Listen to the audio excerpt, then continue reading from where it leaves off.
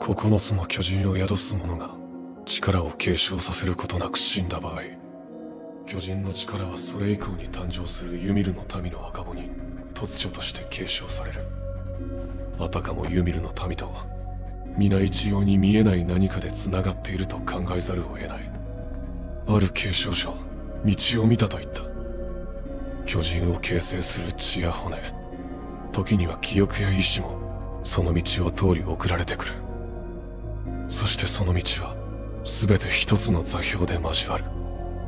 つまりそれが始祖の巨人だ。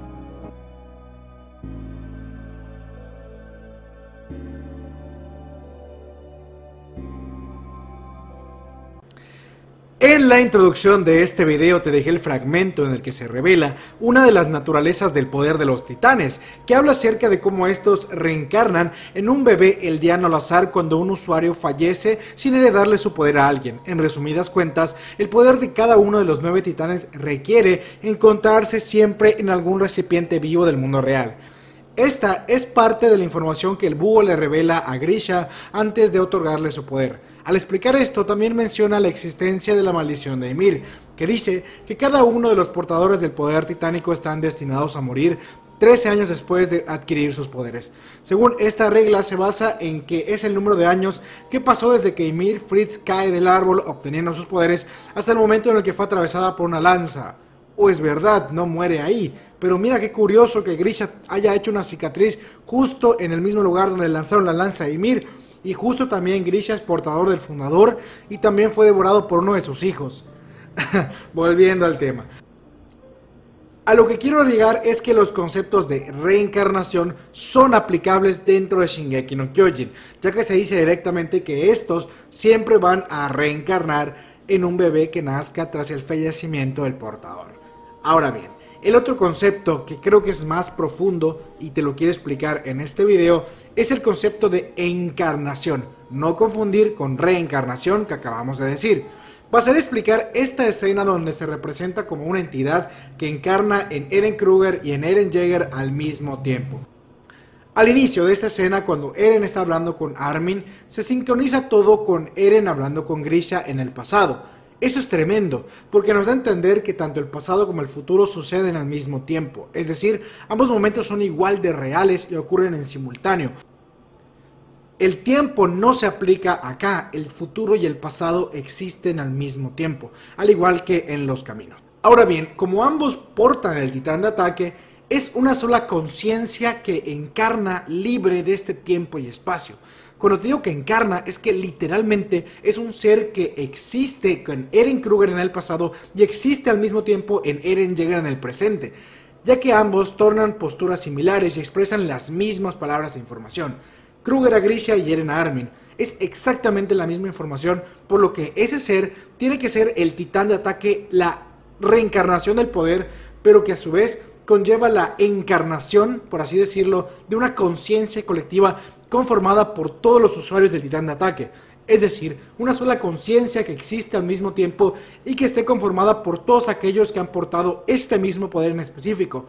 Así que esta conciencia es la de todos los portadores y a su vez no es ninguno de ellos en específico. Una referencia podría ser la serie de Avatar, donde el avatar es una reencarnación de un usuario capaz de dominar los cuatro elementos, pero a su vez existe un estado avatar que conecta su conciencia a la de sus antecesores en un plano aparte.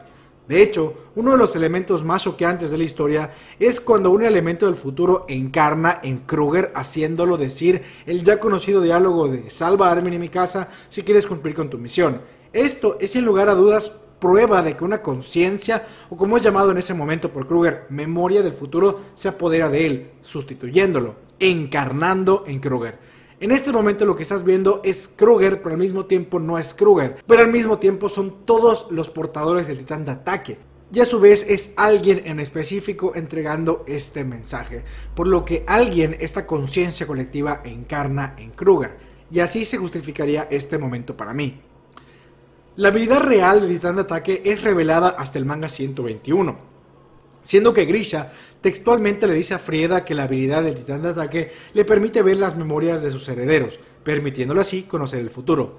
En este momento es apreciable como Eren encarna literalmente en Grisha, siendo el motor que impulsa el hecho de que él se transforme y termine exterminando a la familia de Rod, ya que, como bien se aprecia momentos antes, la conciencia real de Grisha le decía que no pelee, pero la encarnación de Eren fue realmente la responsable de llevar a cabo estas acciones. Todo esto es importante porque Sayama nos estaría dando a entender también en un capítulo anterior cuando Eren hace especial énfasis en sentir con sus propios dedos cómo aplastaba a los hijos de Rod, por lo que en cierta medida fue la voluntad de Eren la que impulsa al titán de Grisha y a su vez Eren recuerda o tiene la sensación de haber hecho eso él a pesar de que fue el titán de su papá, por lo que la voluntad también influye al momento de la transformación de un titán. De hecho, al principio, al inicio, inicio de la serie, se explica que uno de los requisitos para transformarse es tener una herida física y una idea clara de lo que se quiere hacer. Pues bien, esta voluntad podría ser manipulada por esta conciencia colectiva. Algo curioso es que después de que Grisha adquiere el titán fundador, se rompe como una barrera de tiempo. Es decir, ahora existe al mismo tiempo que Zeke y Eren, y de hecho puede ver, platicar y abrazar a Zeke y disculparse justo en el pasado, lo cual me parece increíble cómo se rompe esta barrera entre planos dimensionales. Y también se rompe esta barrera del tiempo, que como ya te dije, el poder titánico puede traspasarlas. El titán de ataque así parece representar el final de los poderes titánicos. Así como Ymir Fritz es el origen, todo lo que inicia debe tener un final, ¿no? Entonces, el titán de ataque y esta conciencia colectiva de todos los portadores para ver el futuro sería el final. De hecho, Isayama ha dejado la pista con los títulos de A ti 2000 años después y de Ti 2000 años en el pasado, dándonos a entender que el fundador es el origen, pero el ataque es el final de estos 2000 años de la existencia de los titanes. Ya como te dije, Ymir Fritz da origen a los titanes en sí, sin embargo, la sustancia de la cual están hechos los titanes y el poder tal cual proviene de un árbol que se mezcla con una humana, el cual posiblemente haya sido parte de otro bucle o de otra especie de manifestación de este poder que no sean los titanes, pero se encontraba residiendo en este árbol. Esa es una idea suelta. Lo que quiero decir es que la existencia como la conocemos de los titanes es una manifestación de un tipo de poder que reside en estos caminos. Eimir es la mezcla entre este poder y el ser humano. Como bien sabes, la primera vez que Eren se transforma conscientemente se queda tumbado debido a que se golpea él mismo. Armin llega al rescate pero en una dimensión aparte, producto de que Eren estaba conectado a su poder titánico, es que aparece como este cuarto dentro de la mente de Eren, donde Armin también puede invadir este espacio y le pregunta a Eren sus intenciones para ir al mundo exterior. Este ya nos revela la frase de por qué nacía en este mundo, Todas estas palabras y la construcción de esta escena es magistral y tiene mucha más relevancia de la que creemos, ya que de existir una conciencia colectiva que poco a poco se apodera de sus portadores, esta versión de un Eren niño, la cual representaría la última versión pura de Eren. Es decir, este es un Eren antes de obtener su poder titánico, pero que ya conocía la existencia del mundo exterior gracias a Armin, presente también en la escena. Esta es la versión de Eren antes de dejar de ser Eren tal cual, antes de dejar de ser él y mezclarse con el resto de portadores poco a poco, como ocurre después del sótano que Eren puede mezclar ciertas memorias con las de su padre. Y así poco a poco Eren va a ir consumiendo lo que es realmente él para poder dominar el titán fundador y este titán fundador le va a permitir modificar el mundo en el cual nació. Es así como Eren después de este momento ya estaba destinado a convertirse en lo que se convierte. Isayama más adelante revisita esta misma idea pero con Zeke y Eren en los caminos a través de la vida de Grisha.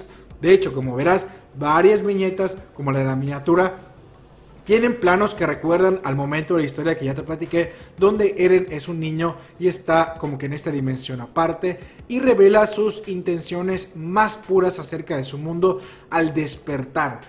Ya que en uno de los diálogos antes del retorno a Shingansina, Eren confiesa que antes de que Armin le enseñe el libro jamás llegó a plantearse qué es lo que había más allá del muro. Armin le pregunta el por qué influir, o sea, el por qué quiere ir al mundo si sabía que esconde el infierno, ya que Armin, pues bueno, pierde a sus papás debido a que intentan salir. Pues le quiere preguntar en por qué quieres ir, por qué ahí está el infierno. Eren llega a ser testigo de este mismo infierno a ver las memorias de su padre y la muerte de su tía Faye. Pero el conflicto que versa dentro de él es que, a diferencia de los demás, Eren sí tiene la capacidad de cambiarlo. Y a su vez, el deseo del titán de ataque no pueden ignorar el hecho de cambiar este mundo, el cambiar su mundo en el que nacieron. Eren se refiere a que si tiene la capacidad y el poder para hacer algo que considera correcto por los suyos, lo hará ya que el mundo no le debe pertenecer a nadie, ni a aquellos que se dicen más humanos que los humanos, como los marleanos o las grandes élites del mundo. Es por eso que el clasificar a Eren como un héroe o demonio es casi imposible, por lo que Isayama está seguro de que el ser humano es bueno en cierta parte por naturaleza, o más bien, en su estado ignorante, el ser humano es bueno, como lo era Eren antes de percatarse del mundo en el que vive. Durante la conversación con Pixis, este le dice que Eren tiene una mentalidad retorcida como la suya, al concluir que los titanes no se crearon como símbolo de unión para la humanidad. De hecho, la paz que tenían en los muros era igual al mito de la caverna de Platón. Aquellos que viven en los muros solo percibían sombras de la realidad que ocurría afuera. Pero como dice Grisha, la naturaleza humana no puede contenerse, la curiosidad humana no puede contenerse. Eren entonces es aquel que ha visto el pasado y el futuro y aún así ha decidido liberarse de la caverna destruyéndola por completo y haciendo que los suyos también puedan ver el mundo tal cual es. Eren es la encarnación del propio titán de ataque. De ahí el nombre Shingeki no Kyojin.